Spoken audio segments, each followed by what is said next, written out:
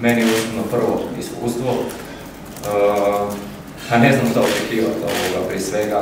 Nadam se da smo svi ovdje došli zdravi, o motivaciji ne treba govoriti, to je svjetsko prvenstvo, svi smo maksimalno spremni, tako da nadam se da ćemo se dobro pripremiti u ovih tjedan dana.